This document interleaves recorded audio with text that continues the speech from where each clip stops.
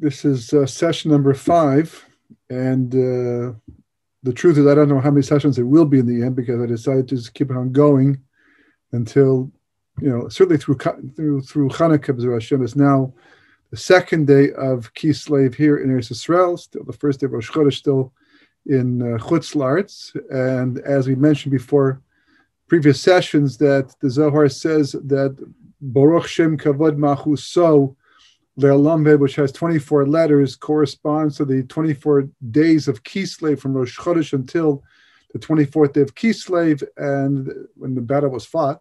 And then the Shema corresponds to the 25th day of Kislev itself, which is what it's all about, the 25th, the 25th. Uh, so this is a build-up period. We're we're now in that period of time, right? That we're we're building towards whatever Hanukkah has to offer, whatever Hanukkah is coming to give to us. Uh, take you know to take full advantage of it. And we began discussing what, last week what was called the equation of life. I sent out the chart uh, of that equation last uh, last week after the last session, and um, I hope you have some time to look at it. I'm just going to go over the the basic components, the basic ideas to you know just as an overview, and then we'll discuss some of these ideas more in depth because it is such a central, such an important idea that if you if someone's interested in understanding what life is about in this universe and what you know how to use your potential what we're here to accomplish and what goes right and what goes wrong. So that's the equation of life. It's like everything is built inside of it. It's what i would call the the you know the equation of everything because it really sums up everything. And if you understand it and you know how to apply it then it's a whole different world.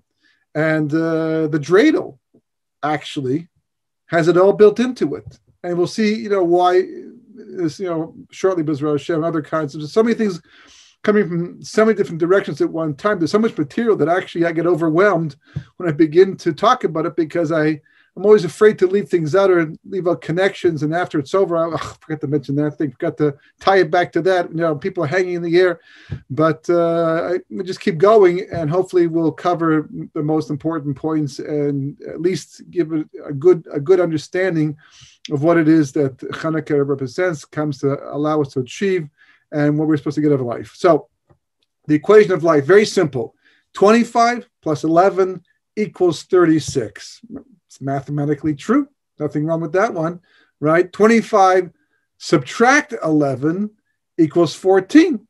Also mathematically true. So you get from both sides. You have the 25 in the middle, subtract the 11, and you get uh, 14, and you add the 11, and you get 36. What's the difference between 14 and 36? So fundamentally, basically, it's a difference between you know fulfilling the purpose of creation and destroying it, destroying creation. If you look in Parshas Miketz, Parshas Miketz is when when Yosef goes, he's already in Egypt. He gets appointed viceroy of Egypt. He's already uh, interpreted the dreams of Pharaoh and therefore earned the right to become second in command. And the brothers have to now go down to Mitzrayim looking for food because there's a famine. That's important. Detail the entire story. Uh, and and then they go down, and uh, you know, but Yosef has concealed his identity. He's kept Shimon. They came down once and he went back again, but this time he kept Shimon because he accused the brothers of being spies, and they had to prove that they're not spies, so to, to bring back Binyamin. You know the story; it's in the Chumash. You can read it for yourself. I don't need to go through the whole thing, the whole the whole parsha right now. And you know, in there, you know, Yaakov is like in the middle of the entire thing, and you know, finally, you know, you know, he's forced to agree to allow Binyamin to go down with the ten brothers, or at least the nine brothers, because one's still in Egypt, to the viceroy. Now, the truth is, Yaakov basically suspects it's Yosef at this point. and there's just too many hints to to Yosef. In fact, the word meraglim, which means spies, he says meraglim with them, you're spies also an allusion to the spies in Moshe's time, because there's a very strong connection between what happens with Joseph and his brothers here and the spies in Moshe's time as well. And the word meraglim, actually, each of the letters of the word stand for their own words, what we call a Roshi Tevas, as an, like an acronym of other words. And meraglim stands for Mi'imi Rachel Ganavtem, Midyanim Yishmalim Mechartem, which basically means, from my mother Rachel, you, you stole me, and to the Midian, the Midianites, and then they sold it to the Yishmaelim, you sold me. So he's like giving code to his brothers. Like he's like having fun at their expense. What's he doing? He's trying to indicate who he is because it's all part of the Hanukkah story. You know, if you look at you know the the, the, parsha itself, and the brothers do come back the second time, and they're standing there before Yosef with Benjamin. So there's all kinds of allusions of the, to Hanukkah itself. In fact, right where he says, you know, he tells Menashe, who they don't know it's Menashe, the son of Yosef, they just think he's an Egyptian helper, and he tells Menashe to go sacrifice, or not sacrifice, sorry, go shecht an animal to serve the brothers because they're they're kosher, they kosher, right? Only you know you know the highest quality of kashrus at that point in time. So therefore, they have to they have to see the shechit itself. So he tells Menashe to shecht it in front of them so they can see it's all been done properly and remove the get, get nasha. In the Hebrew words themselves, actually are the five letters Chanukah. And in the words that means to shech the animal, the gematria tavach tavach right? You know, the, the two words is actually 44. And according to the Bnei Yisachar, a wonderful commentary on the Chagim and Chumash, that that 44 is an allusion to the 36 candles of Hanukkah and the eight shamashim that we light as well. Right there in the story about Yosef and his brothers, all tied together, it's all connected. And you know, they go down there, and before they go down, and Yaakov finally has to acquiesce and say, okay, fine, so take Binyamin now and go get the food because we're going to starve to death otherwise. And he says to the brothers, you know, uh, but here's how to do it. Here's how you have to do it. And he tells them, bring a gift and all that. And he men- mentions that the, you know the, the god Shakai, right, Shin Dalad Yud, that he should say enough to all our suffering and everything should finally turn around and have a happy ending. That's what he says. He uses the name Shakai. Shin Dalad Yud, it's on your mezuzah. That's what we put the name there as well. It means a specific type of a you know thing. It's a certain type of name, and that's the name that Yaakov chooses. There's there's Havaya Yud Kivavke, there's Elokim, but he chooses this name specifically. Why? So this name has the word die inside of it, like die dayenu, right? Enough. The God who said enough. That's what Rashi brings down. The God who said enough should say enough to my suffering and turn this thing around. That's what Yaakov says. Now, enough to what? What did God say enough to? So, enough to creation. God's making creation, and He's using this spectacular light He made in the very first day. And He's saying, This has to be created, and this has to be created, and this has to happen. This has to die. Enough. Stop here. No more. The light cannot go down to the bottom. If the light goes all the way to the bottom of creation, then everything gets rectified, everything gets fixed up, there's nothing left for man to do. It's it's Gan Eden plus.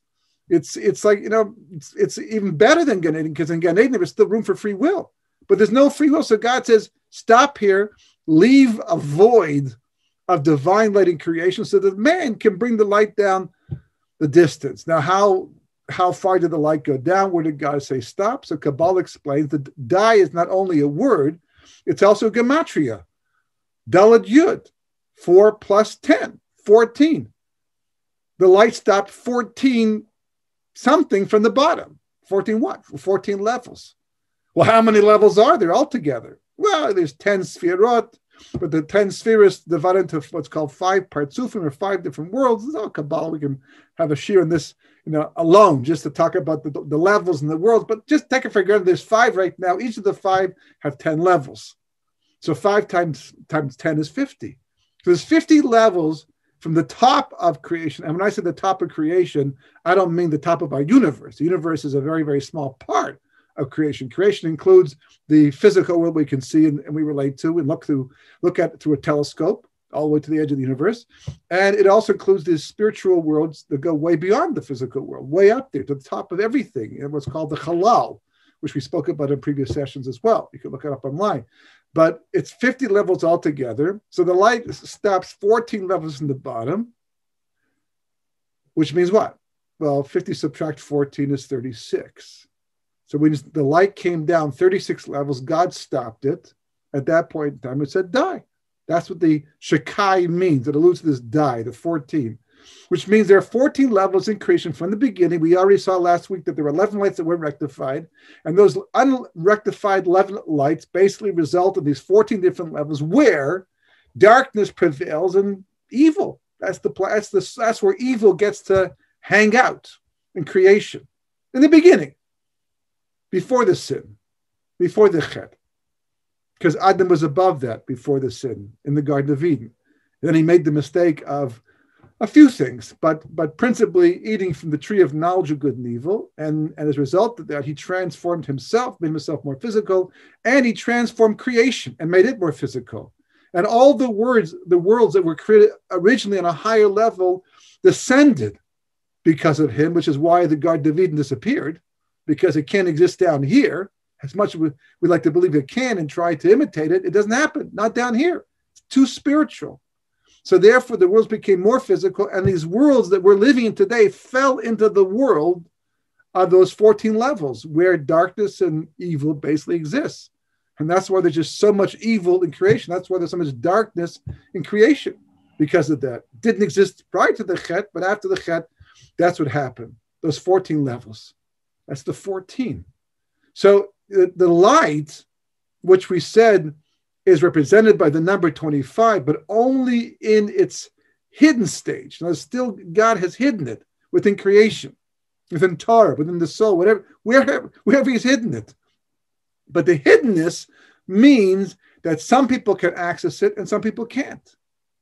And as the lesson points out, it depends upon your trait. But one specific thing we have to still still discuss in more detail. We talked about it towards the end. This idea of das, right? The number 11 represents the number of das. So basically, what we're saying, if you take what's called das, and we'll talk about that Hashem now, you take das represented by the number 11 and you apply that to life, you will access the light of 25, but you'll become a vehicle to reveal it on the outside, and that's represented by the number 36.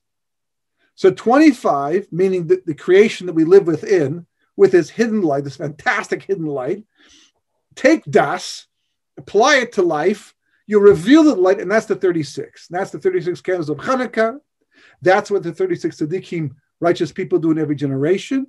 That's what the Talmud tries to allow us to do through its 36 tractates, and that's what Shabbos is all about. The 26, the, the 26, the, the 20, the, the 36 hours of Shabbos the 12 hours of Erev Shabbos, because even though it's not Shabbos yet, but some of the Kedusha of Shabbos begins to, to already happen from the morning onward. We build towards Shabbos, and of course, in this the 24 hours of Shabbos. So that's the, the, the first side of the equation. Now, if you subtract 11 from the 25, then you get the 14. Not only do you not reveal the light, not only do you not bring it unto creation, fix things, like Adam was supposed to do, but instead you reverse it. Adam reversed creation. Clearly, take a look at the world. It's no longer the Garden of Eden, not paradise. Where'd paradise go? Well, it was once there, but many of the things that God had fixed up to create paradise disappeared the moment Adam did his chet because he caused things that were, were rectified to become broken again. It's like someone takes a you know a building, they take all the different pieces and they put it together and they make a building out of it. The building's standing once again, and some guy comes along with a sledgehammer, goes boom, and knocks all all back down again. Where's the building? It's no longer there anymore. So that's what the equation of life is basically telling you. If you uh, if you apply negative das, then you get 14. You're going back to the, the, the, the reality we call the klipos, the negative spiritual reality that's responsible for the world we're living in today, where, where, where sheker, falsehood is so rampant, immorality is like accepted way of life because people live in the dark, because we're living in the world of the klipos. They think it's them. They think it's their own personality because it's they hear the voice in their head, do this, do that. This is permissible but really it's because we're living in a, in a realm an, an, era you know where where darkness is, is very prevalent and people think they know a lot more than they do they think they understand life but in fact they're being mis- misguided they're being misled because of this darkness and and you go from the other side you have the positive das. now what's interesting right and we can't forget this point it's very it's crucial if you go back to the very first sin what, what was the very first mitzvah that, that Adam had. So God says, do not eat from the tree of knowledge, good and evil. Now, what's God doing? If God's only testing Adam's loyalty, he just wants to, can you can you just do what you're told? You know, if I give you instructions, can you just like do them the way you're asked to do it? Or is that too much to ask? So you just need a tree, if that's what you want to use. This is the forbidden tree. It's the tree of forbiddenness. Forget the das part. You don't need the das part. Not, you know, it's not, you don't have to be tested in that. It is two aspects. There's the tree itself and the fact that the das. But what's interesting is because not only is it a tree of das, it's a tree of, of das tovara. Eitz a das tovara. A tree of knowledge of good and evil. Well, there's the das. That's 11. And good, positive das, and, and bad, negative das. And we already saw that Esav comes, there's 11 chieftains of Esav, and they come from these 11 klipos, these 11 spiritual realities that are negative and impure because of these 11 lights that were not rectified. That's the reality of Esav. So right here in this week's parsha, this parsha told us the birth of, of Yaakov and Esav, and really the manifestation of, of Das Tov and Das Ra. The Das of Yaakov Avinu is Das Tov.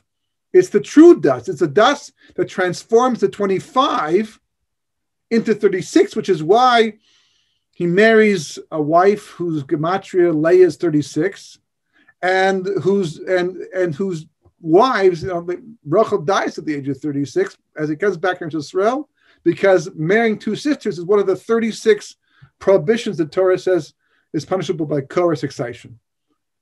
And, and everywhere he goes, he's away from home altogether for 36 years.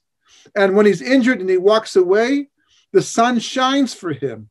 In Parshas Vayishlach, it says, the, the sun shone from him and that healed him. And the word lo, meaning him, has the Gematria 36, and the Maharil says what, what, what healed him?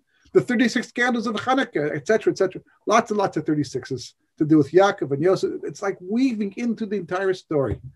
Because these people had positive das, and that's what that was Adam's choice to have the positive das and transform the 25 into 36, which he didn't do. So therefore, God says, Ayeka, where are you? But Ayek is a gematria, which is 20 Ayeka, where's the 25?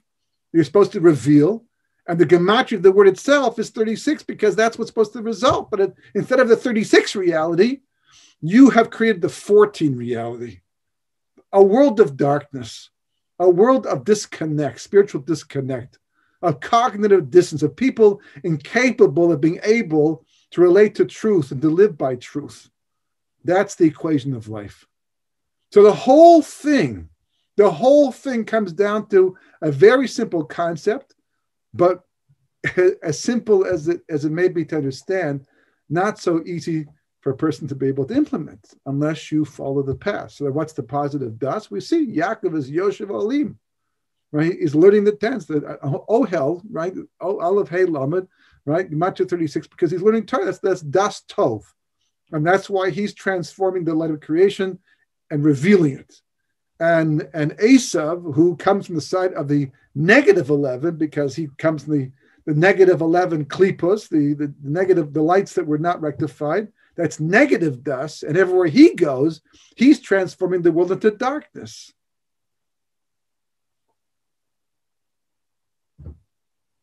Interesting. More than interesting. So we need to understand a little bit better this concept of das because it's it's instrumental to this entire equation. You know, a person a person gets picked up at the hotel or meets somebody in this somehow they get exposed. You know, there's a famous um, famous rabbi today. He's a famous rabbi, but he used to be a famous um, talk show host and movie star. He was like a hero, you know, in in Eretz, in Eretz Israel amongst the secular people. His name was Uri Zohar. He's written books now. Now he's a he looks like just the opposite of what he once was. You look at the early pictures of him, like literally night and day, literally. he was he was atheistic. He was an atheist in the beginning. He was certainly agnostic. He didn't believe, and he certainly made fun of it. You know. So what happened? He happened to have one friend who was was religious, who had a son, and they made a bris. And as a friend, he came to the bris. That's all. He just came to the bris. And at the bris, he got into a discussion with somebody. And they, you know, discussed back and forth and they argued their points. And over time, you know, he began to get swayed because he ran out of arguments and he read whatever he thought he was wrong, whatever he, you know, had considered was incorrect. He was finding out the truth. How many stories you hear like this? That people were raised reform or conservative and they were taught Judaism. They walked away because they thought this is totally irrelevant because they thought that's the whole thing. That's what Judaism actually is. And, and then much later on in life, they meet someone and they go to a class, they go to a shiur. Now you just go online, right? And and boom, it's like, wow. It's like I had no idea this is what Torah is, this is what Judaism says know, and they start to change their way of thinking. And then one day they become they become observant, religious. Why? Because a das. That's all. What happened? Just just a change of das. Their, their mind changed, you know. But but the ideas changed their mind. We're not talking brainwashing.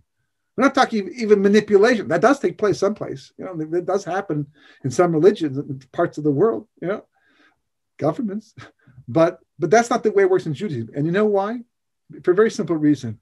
Because it says that God's not interested in robots. He's not interested in people who were brainwashed and manipulated to become religious.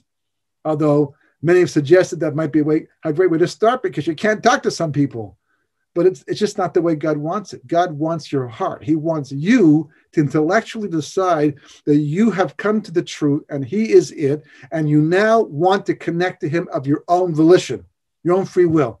Otherwise, doesn't count for too much. As, as the Gemara says, you know, you become just like a walking library. There's no life to you, a golem.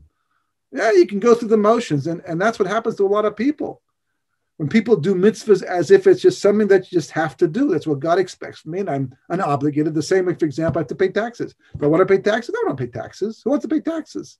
Even though the taxes help pay for all the things that beautify my community and make the world a better place, but nonetheless, let someone else. I, I might keep my money and go to restaurants instead, or buy something more meaningful, bigger house perhaps. You know, but pay taxes, no. But I do it. You know why? I have to. It's an obligation. Am I happy about it? No. Do I want to sit down with my accountant? No, but I have to do it. So I do it because that's my obligation. But that's not the way Torah works. You don't perform Torah that way. You don't go to Daven Mincha because you have to Daven Mincha. You go, yet you have to Daven Mincha, 100%. It's an obligation. And sometimes you fall back on that. But you're supposed to go to Mincha because you want to connect to God, because you want to have an aliyah. You want to rise up in levels. When you bench to God, when you after you've eaten and you say birchat mazon, you you you know the grace after meals. It's not because you know you're just saying thank you. It's because you're trying to say I really understand and appreciate that I could be foodless, or I could have burnt the food and it would taste terrible.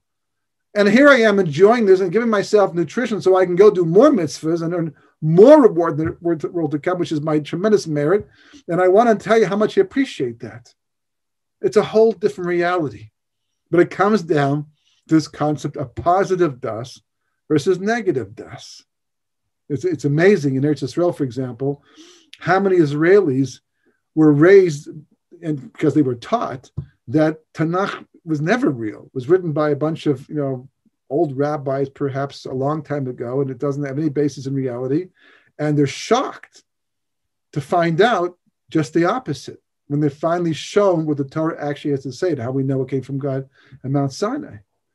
And this is the story of every Baal Tshuva. what's going on? What's happening? It's, it's very simple. They come in, they sit down, they hear ideas, discussions take place. And in the course of those discussions, they, you know, concepts go in, and the concepts like mean something. And, and that heart of stone begins to melt to become a heart of flesh and and the life changes because of that so this go right to this idea that's the equation of life now this idea of das so there are as many opinions in life as there are people, pretty much. I don't know if exactly this is true, but there are a lot, a lot of opinions in life. The amazing thing is how there can be so many opinions about the same thing.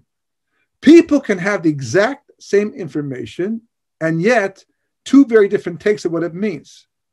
There may be only one objective reality, but there are countless subjective ones. Is it any wonder that world peace is so hard to achieve? It's objective reality. Does it even exist? Well, we hold that it does. This is what the Torah is. This is God's reality.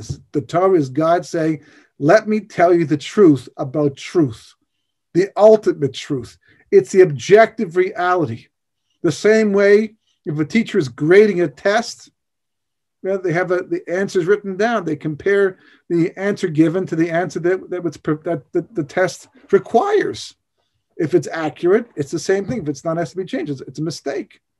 So subjective reality is what I personally do with God's objective reality. So, for example, there's a mitzvah to wear tefillin. There's a mitzvah to keep Shabbos, to light Shabbos candles. So some woman lights Shabbos candles by standing there and concentrating and meditating and saying Yehi son and and and tries to feel within her bones what she's achieving by lighting these Shabbos candles. And other people just light the match, make the bruch, and they move on. Same thing by benching. Right? It's this is this is a whole different outlook and different approach to life. So what makes one person do that versus that? You often, often hear stories. I mean, countless stories of people who thought they had 60 years left to live and are told now they have six months to live or one year to live maybe and all of a sudden everything changes you know, their whole p- program changes. Why?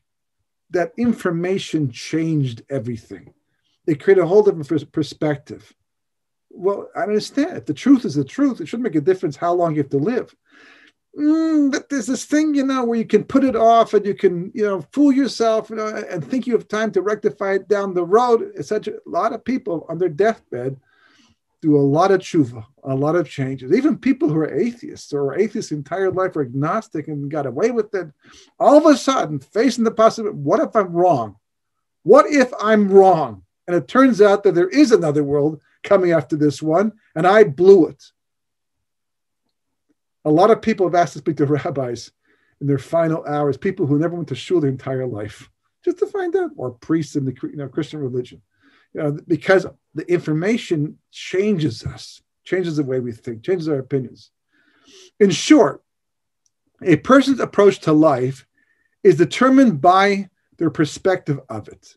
Personal vision is usually at the exclusion of the vision of others, and we tend to gravitate towards those that are similar to our own and reject those which are different. And I once sat down when I when I first was becoming observant, um, and I don't just mean looking at the world better. I mean becoming more involved in, in truth at this point. I was already already committed completely. And I am not committed to asylum, but committed to Judaism, and became a Torah observant Jew. And um, a friend of mine, I lost all my friends along the way because when they heard what I was getting involved with, they figured I'd lost it completely, except for one person. One person who had been a very close friend of mine all through the years, and uh, he decided that in spite of the fact that we're now very different, our friendship should be able to continue. And I agreed. And he came to visit me at one of my one of my vacations back to Toronto during the summertime. It's before I was married, still single. And we sat down in my in our living room, my living room, and uh, my parents' house, and we were talking. And he asked me, you know, why I did it, and I explained the whole thing, the whole process.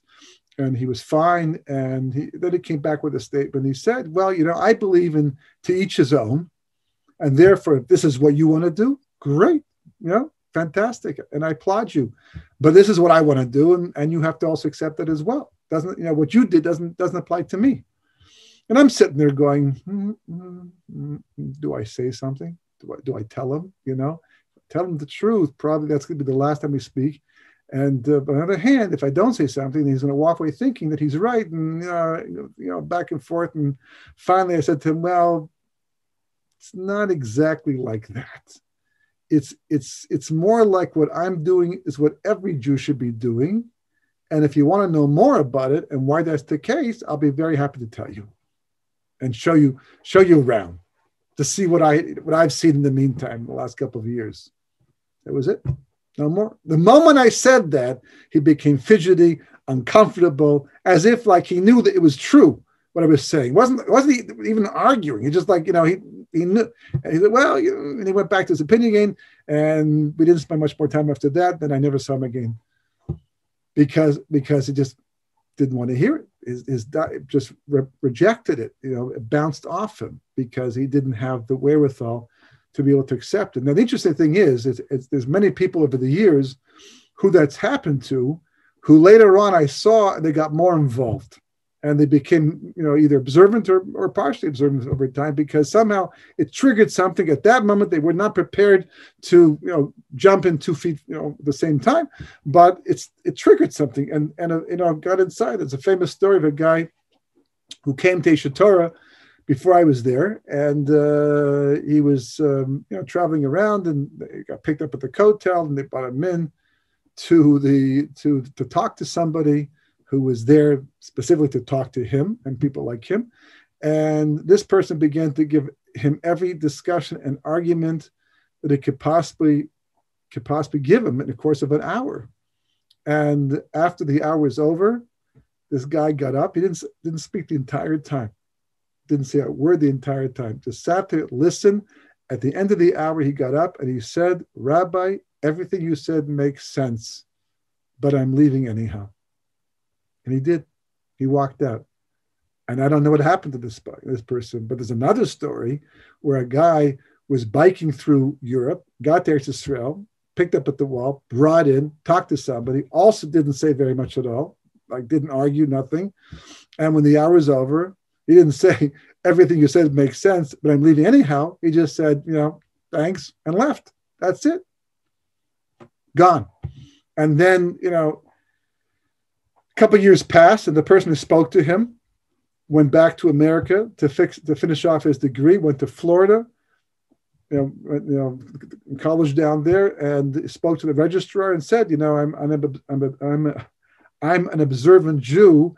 Perhaps there's somebody else here who also, you know, keeps Shabbat and things like that. That we could be roommates, so that it'd be it'd be comfortable to be together in the same room, as opposed to someone else that doesn't keep Shabbos. So they said, actually, there is somebody else here who asked for the same thing, and we put you together already because he requested it. And you're in room whatever, you know. So he went upstairs to meet this person, very excited to find out there was somebody else there who was Shomer Shabbos.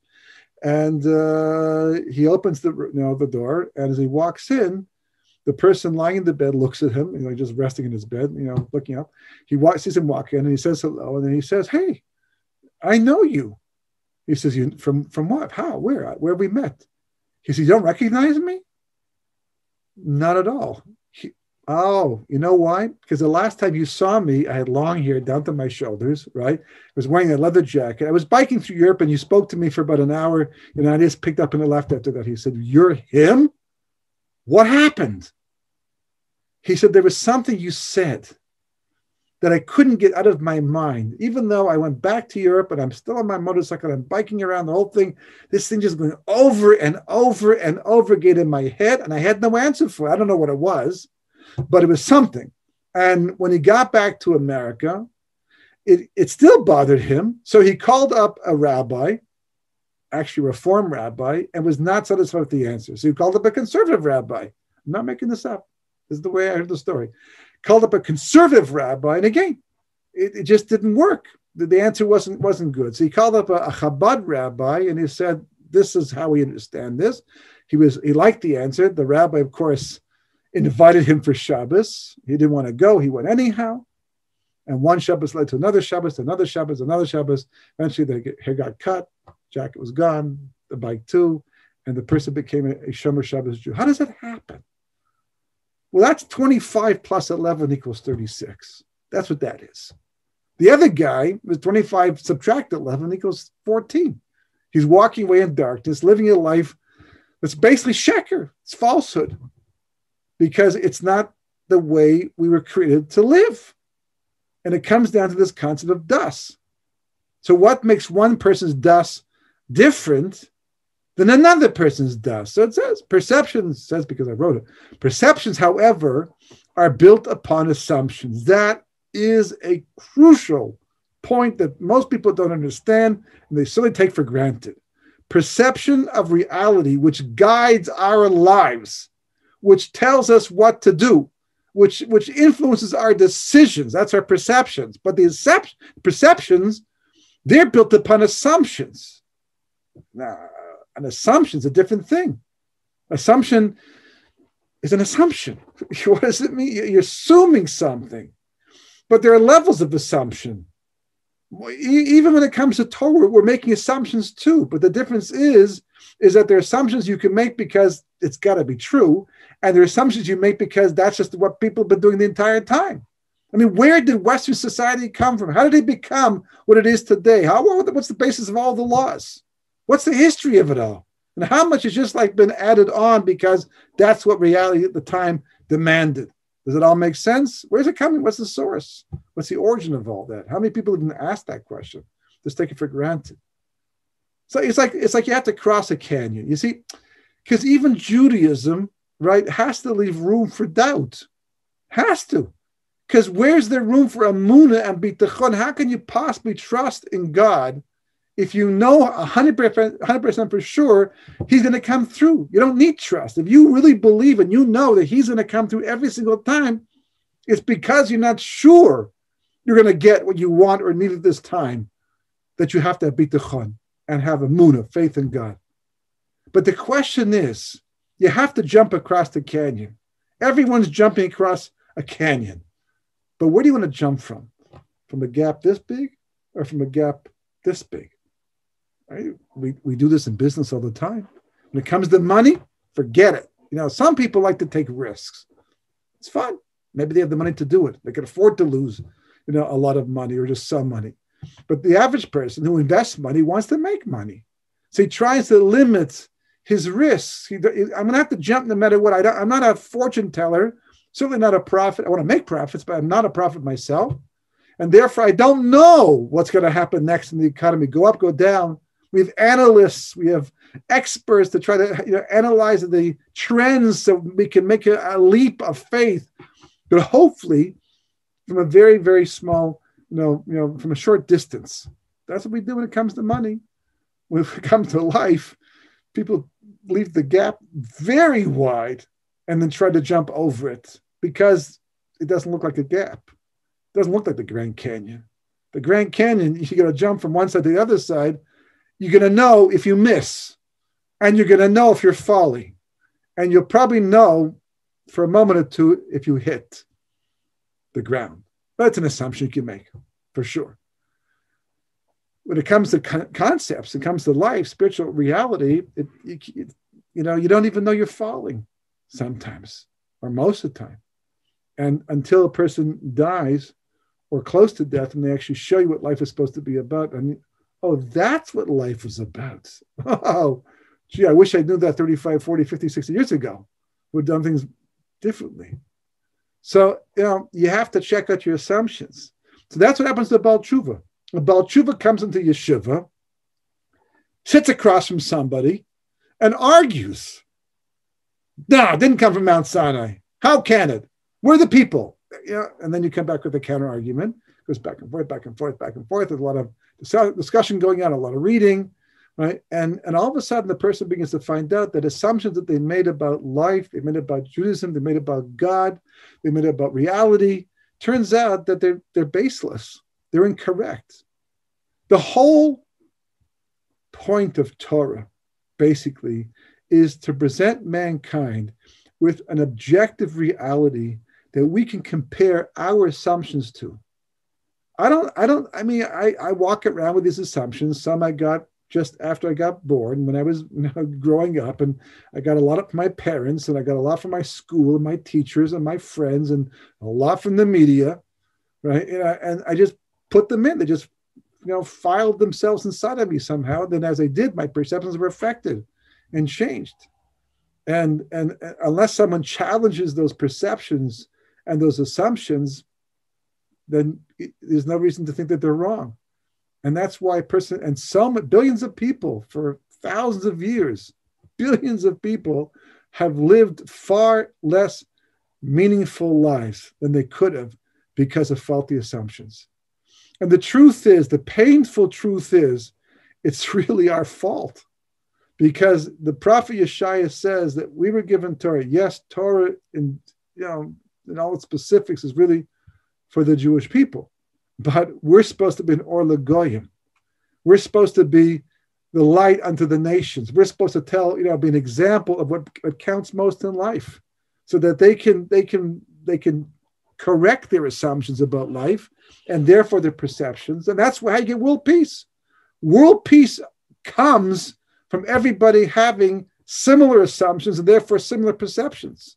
As long as the assumptions about life vary, Russia has theirs, and you know Uruguay has theirs, and Canada has theirs, and America has theirs, and you know the Democrats have theirs, and Republicans have theirs. It's like as long as you know, you're going to have machlokas, you're going to have fighting, because it. I'm fighting for my way of life. You're fighting for your way of life. The question comes down to which are the right assumptions. So for 2,000 years, 2,448 years for that matter, the world just didn't get it. Abraham did, Yitzchak did, but but most of the world didn't get it. So, and, and even their descendants didn't get it the same way they did. So therefore, God said, "Here, take this book. I'm I'm the manufacturer. I I put the whole thing together. Here is the manufacturer's you know you know catalog or instruction booklet to tell you you know what life is about. It's to give you the proper assumptions about life, so that you will have the proper perceptions about life, and therefore know what to do and what not to do. That's what the equation of life is all about in the end. Thus, the top priority in life, if a person wants to truly wants to live a truly meaningful one, is to make sure to have the correct assumptions about reality. That's that's top priority. You know, what do I think? What do I believe? What's my belief based upon? You know, even just what's going on you know, with with the with the mask and the virus and all that, you've got you know people on one corner who are arguing, no, the masks are essential and you have to wear them, and it's for sure making a difference. And if you don't, you're damaging other people and yourself for that matter. And in the other corner, you got people saying, no, it's all a narrative, it's a government's narrative, and it's, it's a conspiracy, and, and it, and it makes things worse, and you know, and and two points of view. But at the end of the day, there's a there's an objective truth. What it is exactly, honestly, at this point in time? I'm not even sure, but it exists. If a person were to take the time to research it on their own to get to the bottom of it, they would come up with it. But if you don't, then you're just left with all these different opinions. Likewise, when it comes to Western society, and even in the Torah world, you have this a similar situation. There's a lack of peace, a lack of shlemus, of, of unity in the Torah world too. Because even though we're all in agreement to which are the 613 commandments, there's a little bit of a disagreement between one group and another group as to exactly how to do it the proper way. So you have machlokas, you have arguments in the Gemara, one after the other. This is the tradition. This is the way it should be done. These are the details. And then one argues back, uh, you know, it's a mess. One of the reasons why we need Mashiach you know, the Gemara says very often when we get to a situation we can't resolve this machlokas, we can't come up with a definitive answer. It uses the word teku. Teku is also a Roshei Teivos. It's an acronym. Stands for Tishbi Yavo. Tishbi Yitarutz. It's a Gushis Vabayev. That, that, that Eliyahu, the prophet, will have to come and answer the questions and the problems and the answers because we're at a loss to do it ourselves because we lack that clear das over time. Starts to disappear somewhat. But that's what we do have. The torah we do have it's that das. And if you want to know whether or not you are living an accurate life you're doing things the way it needs to be done not just fitting in not just living out a life but the life you have to compare your assumptions to those of the torah presents to see how accurate you are. And that's what happens to Baal Tshuva. The Torah acts like a foil, like a mirror. It shows you what's right, and then you can say, well, how do I relate to that? When my Rosh Yeshiva of Noach Weinberg, he, he, said, you know, he talked about it, learning how to learn properly. He, t- he told us there's four things you have to do to, to learn something properly, especially when it comes to the Talmud. Number one, what does it say? Simple, the simple explanation.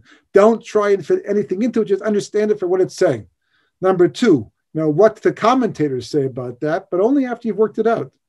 Number three, how does your opinion differ from theirs? Because you're using their opinion, they're the ones giving the tradition. And yours is different. You understand it differently. By resolving that difference, and you're able to correct your way of thinking more Torah like. And the last thing, what does this idea teach you about life? Because that's it has to come home to that at the end.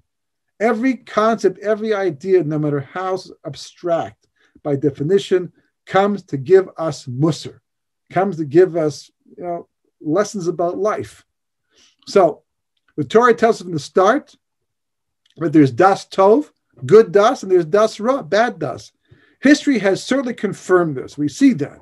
The trick in life, of course, is to develop good das, which apparently was the role of the other tree in the middle of the garden, the Chaim, the tree of life. As we said before, that it wasn't that Adam was never supposed to eat from the tree of knowledge of good and evil. It was that he was supposed to eat from it after the tree of life, or at least at the same time. Because then that would have turned whatever potential bad das there was into good das. Without that wisdom, without that knowledge, then you could end up with bad das. And that's happened to many people. Lots of people have over time been religious ones and then left it. Lots of people have left behind, you know, Judaism because they got that bad das. How many people have been damaged by the internet, which is probably the best replication of a tree of knowledge of good and evil in 5,781 years? How many people have gotten bad das from? Because it's tons of good das for sure, but t- tons of bad das too. People exposed to things that otherwise they never would have been exposed to. So Kabbalistically, Das is associated with the number 11. There are 10 general spheres, but the sphere of Das is not one of them and is often referred to as the 11th sphere. When it is accessed in its proper location among the spheres, just below the spheres of Chacham Bina, it is good Das and called Tree of Life. When it is dragged down and accessed on lower levels, becomes bad das and becomes Eitz uh, Das Tavara. That's a complicated point, obviously very Kabbalistic and probably flew over the heads of most people flies over my head every single time, right? But the basic idea is is that you know das is not just something that's hanging in the air and you you grab at it and it's it's automatically positive. It's the reality of the of the das, this not the reality of knowledge, the knowledge of good and evil, that when it's in a framework of Torah, when you have this, we call this misger, it's like a filing cabinet, right? if you if you have a filing cabinet that's properly ordered A B C D you know Aleph Beis Gimel right? Then whatever you need you can you can put into the proper locations proper place and then you can find it when you require it. And you can find the connections and make all kinds of connections. The Ramchal in his introduction to the way of God Derech Hashem makes his point in the introduction. He says he says what's it like why have I taken the time to organize all this material and present it in such a way. He says it's the difference between walking into an organized, beautiful you know, garden where you got the roses over here, the tulips over here, everything's like really mesudar, it's all organized, versus having the exact same flowers, but they're all mixed together in a mess with weeds even you know, mixed amongst them. Even though it's the exact same amount of flowers, you cannot appreciate them, you can't use them properly because you're lacking the organization. The Eitz Chaim, the tree of life, is that protective coating, so to speak, that allows a person to access the knowledge of creation. I mean, you have scientists who know phenomenal amounts of information about existence, knowledge that should, should turn them to God without question. And some have, you know, done exactly that, and others just the opposite. An example, for example, you know, is, is like a person, you know, and this has happened, I've seen this happen in real life, where someone has come into the yeshiva, they've learned a little bit, they got to the point where they said, wow, this is amazing. I realize this is true, this is where it's at, but my parents are demanding I go back to college in the meantime. So here's what I'm going to do. I'm I'm not going to stay. I'm going to go back. I'm going to go to college, and in two three years time, I'm going to come back and almost never does that happen. In the course of two to three years, They listen to a bunch of professors, a lot of friends. They live in a certain environment. Whatever excitement, whatever connection they had that they got while they were in the yeshiva, didn't work. Why? Because they did not eat from the Eitz HaChayim Torah first. They ate from the Eitzadas Tovara, secular knowledge, and that interfered. On the other hand, people who sat and learned for two or three years and then went back to college, not only did it not turn them away from Judaism, but all the knowledge that they collected, doctors who looked at the body, you know, they, they became, you know, medical professionals and they looking at all the, the you know, the way the body works and the miracles of life, they became more impressed with God's world and what God has done because they had the Eitz HaChayim first. They had the proper assumptions. The amazing thing is, is how many people I've watched debates, you know, between between Darwinists and and you know religionists, and uh, you see go on, and and I've been involved in discussions with people like that. And the amazing thing is, is how people argue the point that God does not exist based upon almost nothing, nothing, because they have not done the research. Amazingly, they have not done the research. They could they could not stand up before a, a, an assembly of scientists and make a presentation about what they believe based upon the amount of evidence that they've collected regarding what religion's all about. It's more, it really is almost more that because God doesn't come down and stop me from doing what I'm, you know, doing or saying what I'm saying. But the more you learn Torah, it gets to the point where you go way beyond you have this knowledge that's so all encompassing. And this is what the Or HaGanuz was.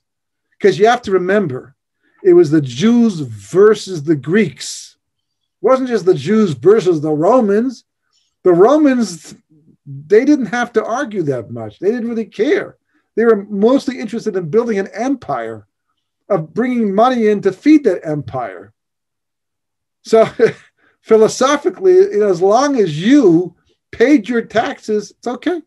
The only reason why the temple was destroyed, aside from the divine providence involved in that, was because you people wanted to fight back. But if the Jews, as instructed by the leading Torah rabbis at that time, had simply paid their taxes, we would have kept the temple, kept our country, because it was the money the Romans wanted, but not the Greeks. It was ideology, the Hellenists, Aristotle, Socrates. It was, you know, it was it was a, a, a way of thinking, a way of life.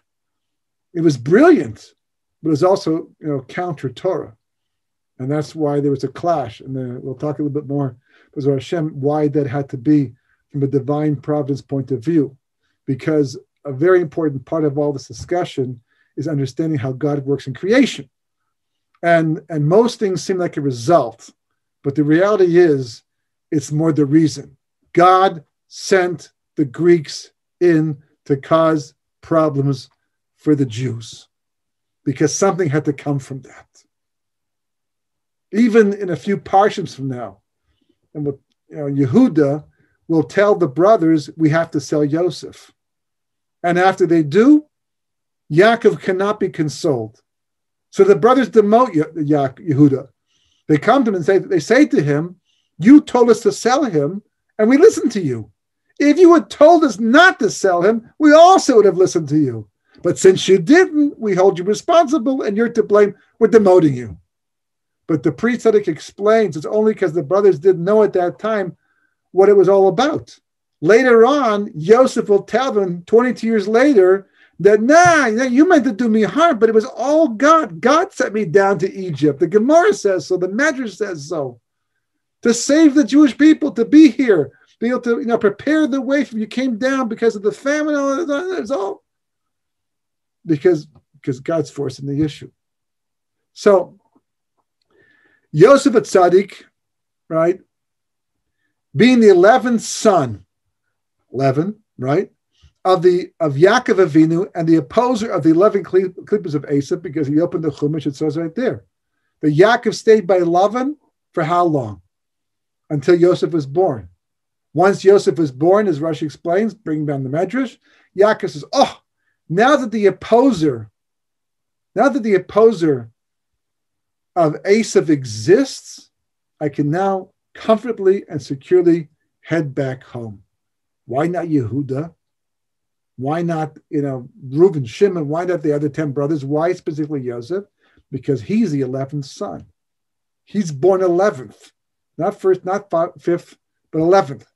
Is that just a coincidence? Is that significant? You have Esav, who's represented by this negative, negative 11, and Yosef, who's represented by this positive 11 and he's the opposing you know you know figure that's why it's not such a stretch of the imagination it might be hard for people to believe and people to accept because we have a, we have a problem applying biblical concepts to modern day events but it is significant that when the attack took place on September 11th 2001 that the that the buildings that they hit were the only ones in the entire skyline in the shape of 11 and they represented the prowess of Esav twin towers like that that was the the symbol of Esavian power an Esavian outlook and it came after you know the year you know 2000 right which which was called Y2K which in Hebrew is Yud Beis Kuf, which is Yabok in Hebrew, which is the river that Yaakov crossed over to become Israel, who's built upon this positive 11, and which the Arizal says represents the shlemus, the completion of a person, because the gematria of Yabok, Yud Beis Kuf 112, is equal to three names of God, Yud Ke Vav Ke, Aleph Hey Yud Hey, Ekya, and and Aleph Dalet Nun Yud combined together, but they could they correspond to three levels of soul, each of these names. So when a person crosses the book, then they stop being what? Well, Yaakov, let's not forget, was the twin of Esav, holding on to the heel. He comes and hold. What does that mean? Right? Holding on to the heel. Because quite simply, in the course of 3,320 some odd years of history, if Yaakov doesn't lead, then Yaakov follows. That's assimilation. That's the Jewish people. That was the Misyavnim. That was the Hellenists. If we're not leading with the Eitz Chaim, then we're following the Eitz Das Tovara. That's been the ongoing struggle of the Jewish people throughout history this long, long history. So it's the equation of life. It's what determines everything. The 25, that's a static reality, meaning that the light's hidden in creation and whatever and everything, everything. A candle, you can light it just to see where you're going, or you can light it to welcome in the Shabbos. Is there a difference? Is there a difference if, if you light a candle just in the street, just to see where you're going to make sure it's not too, dark? Or you light a candle because you're, you're commemorating a miracle and divine providence? Well, according to the halacha, yeah, a big difference, which is the reason why you put it within three to 10 amas from the ground if you light outside. In the house is different story, but ideally, that's where you light it between three and 10 amas from the ground. That's, you know, sorry, um, tfachim from the ground, very very low, but you know, not even like waist height. That's the ideal height, because it has to be clear. This light is not for the sake of lighting the streets. This is for the sake of the Ner Hanukkah, a whole different reality. Because as a light for the street, the Or HaGanuz doesn't come out. You're not really transfer, you know, trans, you know, you know, forming the light 25 into the light of 36, as Ner Shulchanach you do. And where do you light it? Well, halachically, within three tfachim, that's called on the ground itself. You can't put the ground because that's not that's not you know honoring the mitzvah to keep off the ground somewhat, but close to the ground. Why? Because, as we said at the beginning, the light came down 36 levels. 14 levels, it did not come down because that's our job. By drawing down that light of 36 into the world below, right to the bottom of creation. We fix everything. We fix the negative 11. We get rid of the klipa called Esav. You bring Mashiach. That's what it, that's what it is. That's what the light of Hanukkah. It's the light of Mashiach. So what do we do with our menorah? Bring it down towards the ground. If not symbolizing, but actually, actually drawing down the light of 36 to the very bottom of creation, fixing it up, at least in our own personal way, as much as possible. And as many people do it nationally too. But that's that's the equation of life. That's what we're leading towards Hanukkah time. We're not finished yet. That that's just one aspect of it. It's just tying together the different parts of the equation of life. I hope I made it somewhat clear. We'll go on, Bezrat Hashem, because there's a whole other part to all of this that we have to put into perspective before we can finally implement this information, fix ourselves, and really fix the world too.